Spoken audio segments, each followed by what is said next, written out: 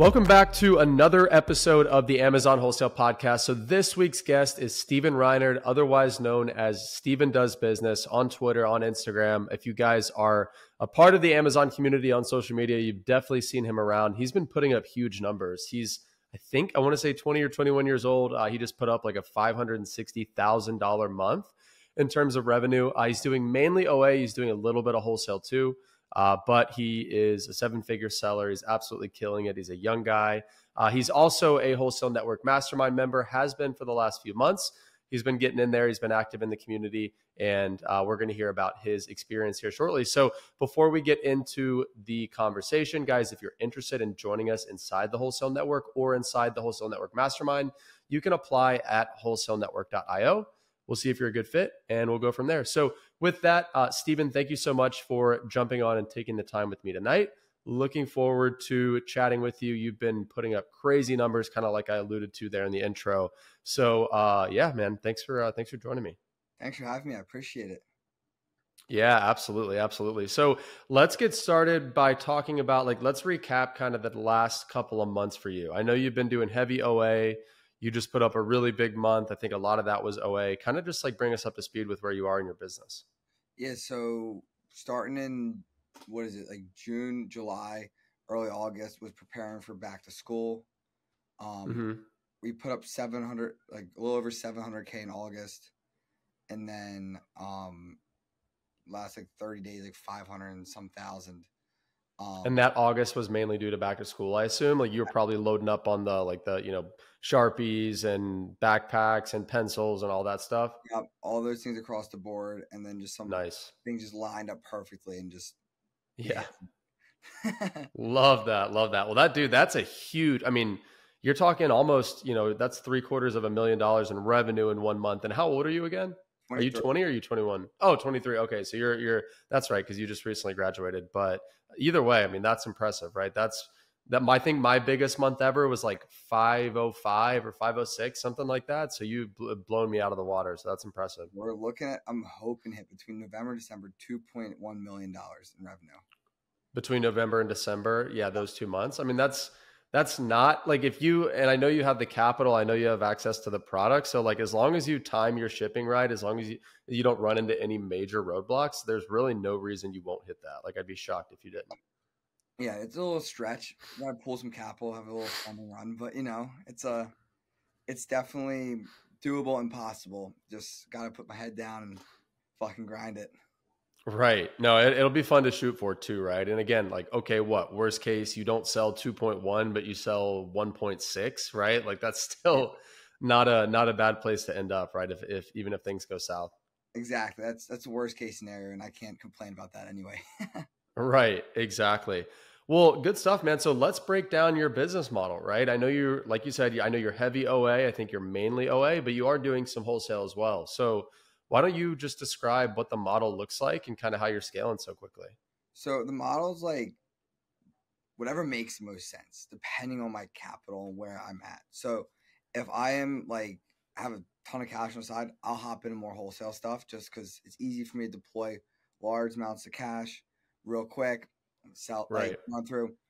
OA, the aspects of OA I like is because I don't have unlimited amounts of money, is um there's a little higher margin and there's some like mm-hmm. extra aspects of like cash back and credit card points you still get in wholesale, but you don't pay the Melio fees and stuff in OA. Right. But um, so it bounces back and forth, but mainly OA um, in general, just because of the extra aspects. But I'm going to start rotating a little more toward wholesale just because Q1 I'll have more cash on hand and right trying to not work as much. yeah. Like all yeah, the exactly. days. So have a little more free time. So then I'll pivot a little more to wholesale when that time comes. Right. No, I, I, love that. I think that's a good strategy, right? And so just to clarify, so you're saying when you like when you're flush with cash, when you've got a lot of capital, you're you're doing more wholesale, right? Because it's easier to deploy 10, 20, 50, $100,000 at a time than it is with OA when you've got to sit there and order, you know, 5, 10, 20 units at a time. Is that kind of what you're saying? Yeah, and it depends. Cause like personally, I don't really order at all because like yeah, you've got a team I, that does that. I'll fire that out. the team yep. orders, they can do all the fun stuff, deal with the order cancels. My job is to tell them to keep going, encourage them. Yep. How I can help them bob and weave through some of those restraints. But um, with the wholesale though, like it's just easy. Put the PO in, comes to the warehouse, yep. it's prepped, gets sent back out. Well, and yeah, that I do think that is one definitely one of the pros of wholesale over OA. And again, nothing wrong with OA, like obviously very viable model, but it is a little easier, like you said, with wholesale. If you're ordering, let's say you're only buying, you know, three or four different products with wholesale, but you're buying, you know, a thousand units each, for example, that's a way easier prep process and a way easier fulfillment process than having to buy or then buying either a bunch of different products at a time or buying in smaller quantities. Uh, so that's definitely one of the benefits. And I know you're you're a partner in a prep center, right? So you're just talking about getting everything sent to the prep center, getting it going. Uh, how's that been going for you guys? Dude, it's been awesome. Shout out Big Cat Distributions or Big Cat. Yeah. Um, no, it's awesome. Like it's fun to bring it in house. It adds a little more challenge to my just because another business on top of it. But Cat's awesome, great business partner, and it's been a lot of fun to build and see where it goes at the end of the day because we're in such an upcoming space where everything's going. You're just gonna buy your groceries online, like you're gonna buy everything online. Yep. in that fulfillment space, which is the next really big frontier, I feel like is a lot of fun to be in and growing that those aspects and making those clients happy and everything. And you've got a few partners in that business, right? I know Max is one of them. Are there are there more, or is it just you guys? No, just Max and I. Okay, nice. And where are your facilities located? Our uh, two warehouses in Pennsylvania and one in Delaware. And got it. Us a little different in those aspects is that we'll only deal with higher end sellers because that's the best way for us to give the best customer experience with right the prep center and everything like that. Like higher volume, yeah. Because I'm I'm sitting here thinking about it, and as if like if I ran a prep center, the last thing I would want to do is deal with a bunch of new sellers who probably aren't going to be sending me much volume, right? I'd rather work maybe on a slightly lower margin, but only deal with sellers who are doing big volume because it just seems easier to scale that way. It also just seems like a, less of a headache that way than dealing with newer sellers. Then you don't deal with the same issues like, uh, like they don't mess things up as much. Bigger sellers, they just right. they have the process, they just know how to put it. Like all the basic things that come as you grow, like it's just the, those sellers are already there.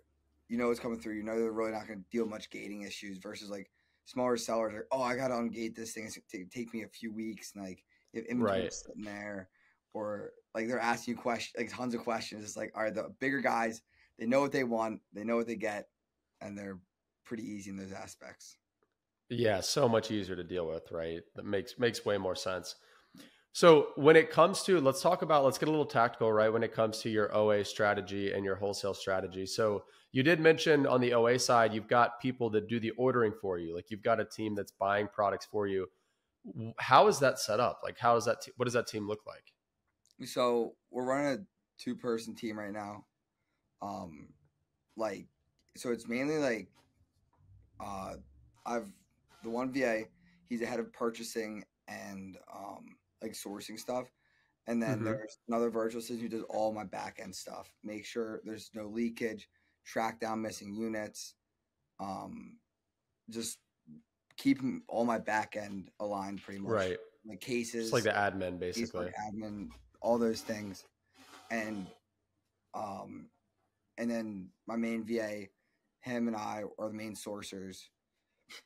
But yeah, because like what happens like if you're buying like two at a time, hypothetically, and you get like order cancels or it takes you all day and you order cancels, like it's, it's so annoying as right. It takes forever. But if you're paying someone three dollars an hour, yep. like it's not a, as big of an issue if you get order cancels. Like all right, I'm out three or nine bucks versus like your whole day. Like holy crap! Like this is right. So- Yeah, when you as the business owner, I mean, you, Stephen, your time is worth hundreds of dollars an hour, right? Maybe even thousands. So that's why, yeah, having those folks overseas who you can pay three, four, five, six dollars an hour handle a lot of that grunt work is by far the best way to do it. And it's funny because I my team is set up very similar. So we obviously are are 100% wholesale where you're talking about this is your OA team, but I've got just two employees in the wholesale business One of them is the admin, right? His name's Ralph. He works on the back end, doing everything that you just said cleaning up account health, cleaning up feedback, handing care, taking care of customer questions, reimbursement cases, uh, you know, all of that side of the business. And then you've got uh, Criselda, who's the main, she's basically running operations, but she's doing all the buying, right? So um, that's kind of like the yin and yang process that we have as well. Sounds like we're set up pretty similar to you guys. Yeah. And like the next part I'm fully going to build out is like January is just going to be based on me not working as much in the business, but hiring out another probably four or five people to do all the yep. sourcing, and then hopefully I can take a nice step back a few months later and um, spend less time sourcing, but more time like building well, like figuring out websites because like my whole my OA business, I do OA, but it's set up like a wholesale business in a lot of ways. Like they hit the same replens, right. cycles, and then I'm buying 500 or 1,000 units at a time. Right, exactly. I think earlier this week I bought four or 5,000 units for a single ASIN. Jeez. For, for OA, you said? Yeah.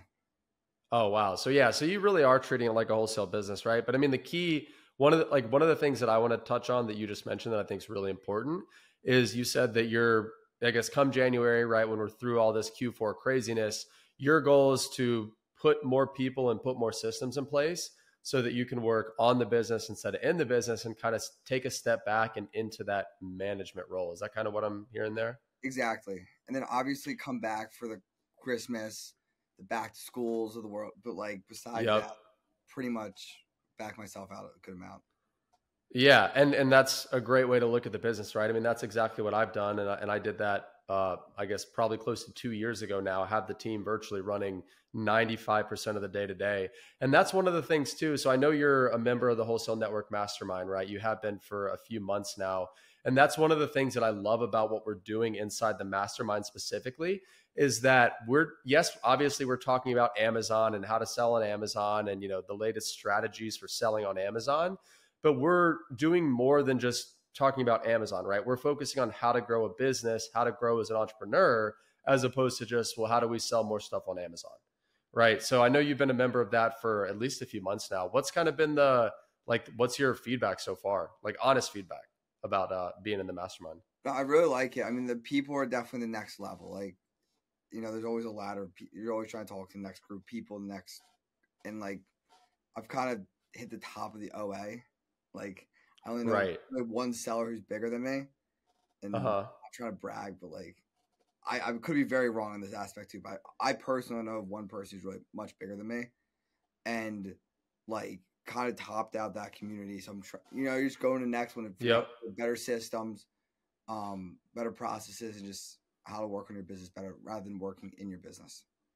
Well, and that's that's like perfectly legitimate, right? You're like, well, hey, I kind of tapped out my my network of OA sellers. And like, of course, there are OA sellers that are much larger, but at the end of the day, like you kind of like you said, you need to keep leveling up that group around you because like I, for example, I know inside our mastermind, there are questions that people are asking where like these are questions you can't Google them. You can't ask chat GPT. Like the only way to get an answer to some of these questions is from somebody who's been there before and somebody who's bigger than you. And it's crazy because I see some like people inside the mastermind asking some of these questions, and I'm like, I have no idea what the answer is, right? But then you've got somebody chime in and say, Oh, yeah, that's XYZ, right? And you're like, Holy shit, I would have paid like I would have literally paid somebody probably five hundred dollars for a consulting call just like to get that answer. Like that's kind of the level of nuance and the the quality of folks that we have inside there. So yeah, I'm glad glad you joined and glad that you know you're having a good experience. Uh, and and with with that too, I mean, let's go ahead and talk about the wholesale side, right? Let's talk about the wholesale side of your business. So when you do have capital and you are looking to deploy a lot of capital at once, which as we know is easier with wholesale, what like how do you do it, right? What's your move? Um, I'm being frank. Usually my friends have something that's going yeah, oh which is a great testimonial to networking and not being, you know, on an island of one inside this business. You literally just piggyback on your friends' deals as you should, right? As long as they're cool with it. Yeah, they don't like. They'll be, hey, we're cooking the. All right, like let me get an. Like I literally like, all right, let me go get an eighteen wheeler of it. 18 wheeler drops. Yeah, it's like I'll, I'll take a truck. I'll take a full truck. yep, take a full truck. And then ran through it, and then it's like, all right, when it's time to re up, you re up on it. It's like stuff's like not rock science, especially when you have the network to do it. Right. They plug you in on those deals and those things. But my wholesale business is pretty basic. I did it like I really grind wholesale for a week after ASD like two years ago, and then I was like, I still like OA, so I just yeah rip it. Well, it, dude, you did it, it, like the perfect way. Like you did it the really the easy way, right? You're like, all right, I know OA. I'm really good at OA, so I'm just going to crush it with OA. And instead of spending all my time, you know, getting into wholesale and you know trying to land all these suppliers myself, instead, I'm just going to get really good at networking and become friends with everybody in the community who's doing wholesale. And so when they find deals and they need someone to come in with capital to do a group buy, guess who's the first person they call? Right, me well, in the meantime, I'm uh, you know, growing my OA business and making a ton of money that way. So like you kind of have the cheat code, really. like you, you did it the easy way, you know? I mean, that's the name of the game is like the truth is like only be good at one or two things. Like, you know, right. the amount of people you probably see are like they do OA, they do RA, they do wholesale. They're like, yeah, I do all these things, but like, what if you just become good at one thing, but like really good at one thing? That's honestly, that's like very wise advice coming from someone who's only 23. I had, so I had a tweet about this, I think two or three days ago, where it was something along the lines of like the easiest way to spot a brand new entrepreneur is someone who says there's, they're working on six businesses, right? Or three businesses or five different things. That's like such a telltale sign of somebody who is just brand new to entrepreneurship. Cause it's like, listen, serious entrepreneurs, even the highest level ones, they're really only focused on one thing at a time, right? They might have like for example, I have three different businesses, but you know, I'm really only focused on one, right? Like I the other two are being run by teams and by operators. My focus is is dedicated in one direction. So that's a great point on your end. It's like find what it is that you specialize in and just become the master and then find people for everything else. Exactly. It's easier to become a master and teach everybody else it versus like, you know, all of a sudden Walmart, eBay, Target, like, like what if you just pick one and just be so right. good at it that like there's nothing uh, like nobody can beat you in it. Like, exactly, and the, the worst is when somebody's like, "Oh, I." I uh, I day trade and I do crypto and I do forex and I do ecom and I do real estate. I'm like, what? You need to do one of those things, right? And I trade, but my one buddy is like crazy good at trading shoots me a text, gives me a call. Hey, boss, all right, I'm in. Like that's yeah, exactly. Well, again, that goes back to the networking. Like that's not really you like do you know getting distracted and, and focusing on a different business. That's you saying, okay, I'm going to leverage my network so I don't have to focus on this, right? Exactly. And that's how like it works. Is like when you start building up the network, and a lot of it just become personal with people. It's like you don't have to be like the best ever. If you're a great talker, you become a good talker. Excuse me, and provide value the amount of things you'll get from other people will be so much. And from the next exactly because I just went to Amazon Accelerate. I don't know if you mind me touch on this. Like, oh, go ahead. Highest level Amazon conference I've ever been. I'm not affiliated. Yep. Like, I was talking to some people that do over a hundred million dollars a year. Like, I got contacts people doing over a hundred million dollars a year on Amazon. Like, blew my mind of like what was possible. And my only thing there was like I literally went to a half a session. I was like, this is does not apply to me. I spent my entire time down in the general area just talking. Just That's exactly what you should have done, right? Yep. And if I whenever I decide to go toward private label at some point, it's already like the network's already built. There's already people there in place to be able to talk to. And like I didn't even think about doing private label until a week and a half ago, but yeah. Well, and that's that's the beauty of of taking that approach is like you go to events like that, you go to trade shows, you meet other people in the community who are already doing what it is that you want to do. And it's like they have the roadmap, right? You don't need to like why would you ever spend weeks or months in your situation like watching YouTube videos to try to learn private label or, you know, reading blogs or whatever when it's like you could just literally text the person that you met last week at at that show and say, "Hey, I'm working on private label. I've got this question. Uh, can you help me? And they're like, oh yeah, it's X Y Z. You're like, okay, great. Next, like, and you just because you're taking action, they're going to be so much more willing to help you. Um, especially people that are serious and at a high level. So that's that's really good that you did that. Like I I bet the ROI on that trip for you is going to be massive. Oh, it's gonna be huge, and I'm definitely going next year and the following year. Like, is you have a whole new caliber of people, like compared to any other show. All the other ones are great to go to. It was just like usually like a lot of the OA and wholesale ones. Like I'm, I'm meeting a larger seller. OA, I'm usually one of the biggest ones, and then right wholesale. Like I'm middle of the ground. This I was a I was a minnow. Yeah, exactly. Shark swarm, but like you know, just networking with them, become friends with them, try and take them out to dinner. Just it's so much easier to, when you have them those people in your back pocket as going on to the next thing. And and one last point on this, and then we'll kind of move on to the next topic, which is going to be Q4 tips and strategy. Just the the concept of being in the room with people that were like you're the dumbest person in the room, right? Like I don't know, I don't remember what the quote exactly, but it's something along the lines of like if if you're not the dumbest person in the room, you got you're in the wrong room, right? Um, and that's like I have very similar experience myself. There was a, I guess up until about two years ago, my Amazon network was two people, right? One of which is now in the mastermind, the other of which is no longer selling on Amazon. So I could I had one basically two people to talk to, and it wasn't until I paid to join a very high level group of Amazon sellers, and most of them were private label sellers. I'd say probably 90% of them were but dude, I was the smallest person in that community by far. Like I was that minnow surrounded by sharks, people that have been selling on Amazon since I was in like kindergarten, right? Like big time guys. And I remember being like, whoa, I'm intimidated. Like a lot of this is going over my head, but I know I'm in the right room because these guys are all super legit. Exactly. And that's the name of the game. If you're doing all right or just starting holes, like just figure out someone who's doing a little bit more than you and just reach out to them. Yep, hundred percent. Chop it up. Very good advice. Very good advice. Awesome. So let's jump into uh, some Q4 tips and strategies. So as we're recording this, we're right up at the end of November, or sorry, September 2024. We are headed into Q4. Lots of good uh, sales months ahead. Right, the next three months are going to be awesome. Uh, and quite honestly, if you're just now starting to prepare for Q4, it's too late for the most part. There is some stuff that can be done last minute. But in general, Stephen, what have you been doing, uh, you know, weeks or months in advance to really maximize the opportunity that we have here over the next three months? So I've been starting to send stuff in for Q4, getting my purchasing, and I'm OA, so my lead time is usually a little quicker, I believe, than most wholesalers.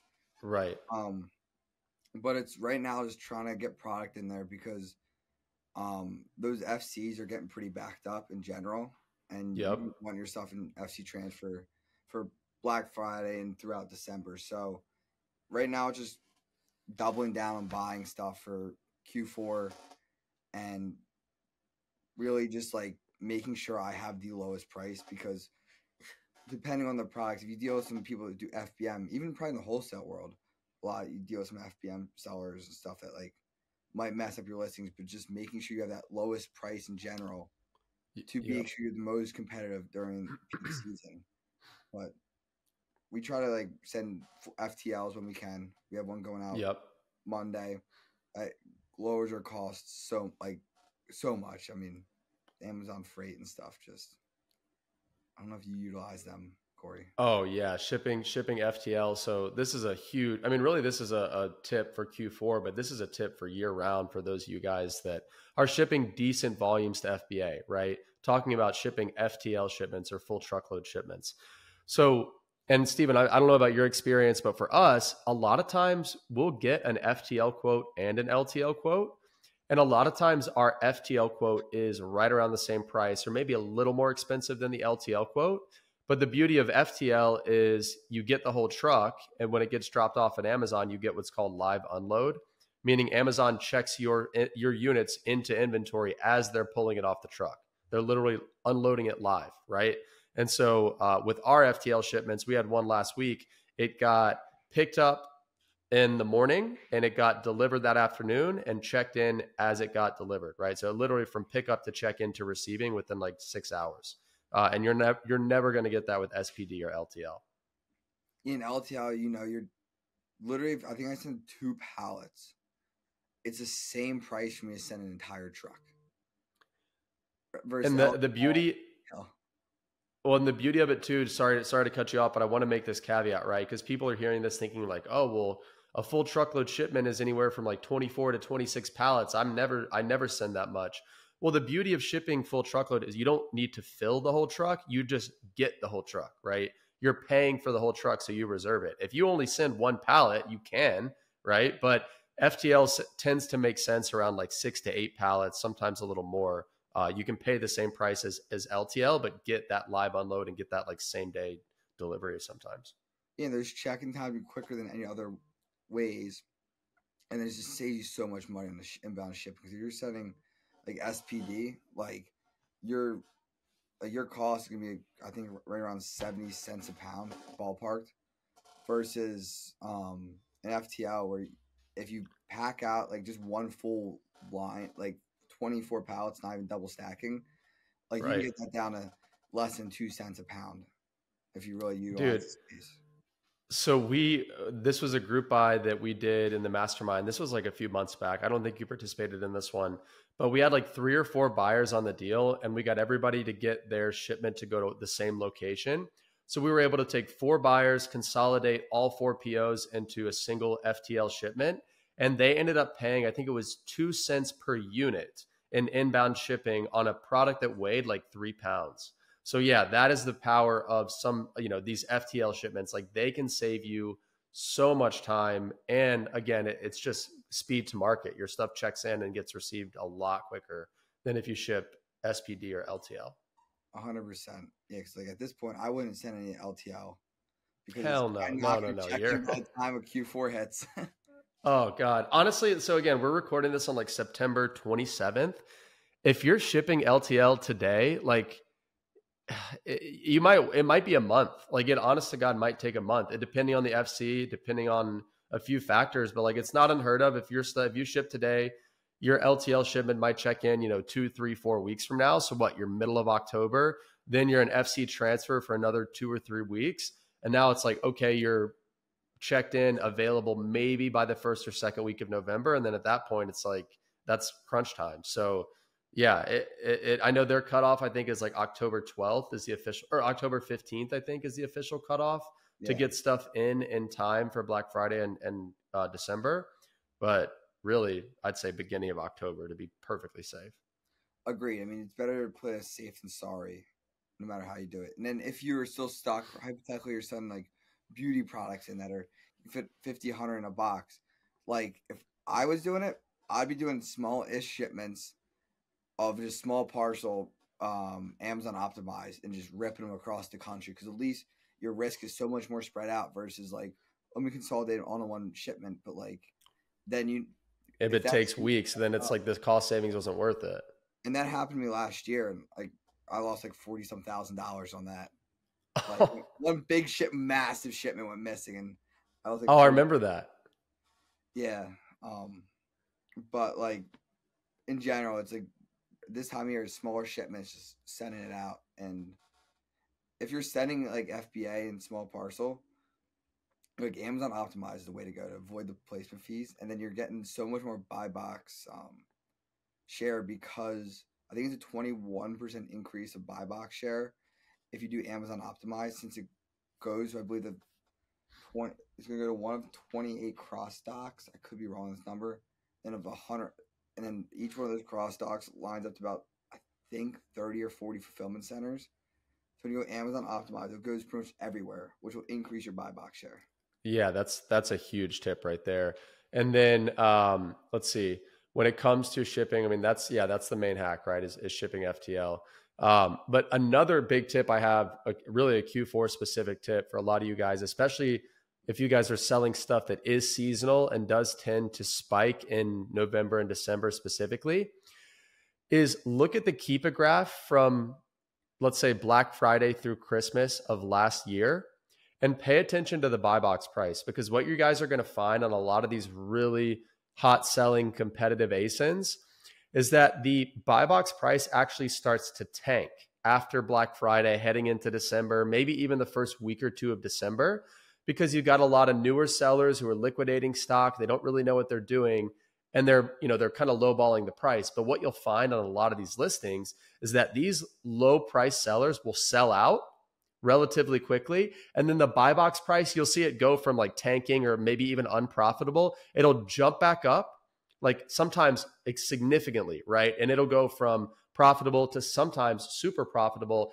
in that critical week of December 14th through the 21st, which guys, you should make more money from December 14th through the 21st of, of every year than you make in the first, you know, three quarters combined if you're doing it right. Right. That is the week, December 14th through 21st. So my advice is again, pay attention to historical pricing. And on products like that, where you see, you know, usually it tanks and then it jumps back up right before crunch time, just hold your minimum price in your repricer to be kind of high. So that way, when everybody else sells out, you've got plenty of stock and you can just tear through it in the seven to 10 days leading up to Christmas and make a killing, make an absolute killing. Yep, absolutely. And just trying to stay in stock. Don't send stuff in early December hoping to get it in for like that crunch time. Just Oh yeah, hell no. Just FBM at that point. exactly. Um, yep. Yeah, that's I'm excited though. I'm excited for December. Oh, it's gonna be fun. It's always it's always so much fun. Like it's the best time of year to be an Amazon seller. There are there's a lot of money to be made all three months of Q4, but like I said, especially in that peak uh, week of December 14th to the 21st, and obviously the Black Friday and, and all the good stuff that comes with that. So yeah, it's going to be fun.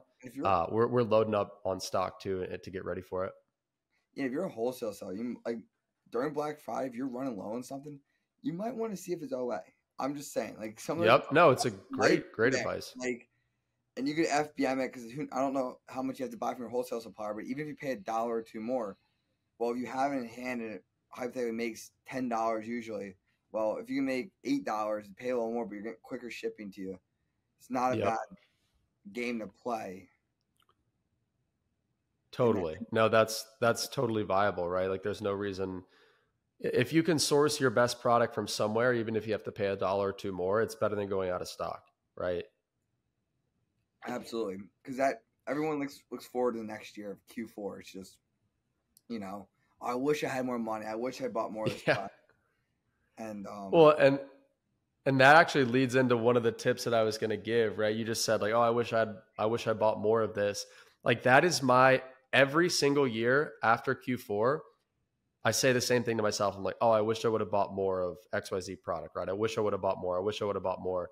So if this is your first Q4, don't be afraid to go deep into the products where it makes sense, right? There are some products where if you bought, you know, double or even triple what you plan to buy, you'd still sell it all. So just my my advice is don't leave money on the table, but obviously don't don't overextend as well.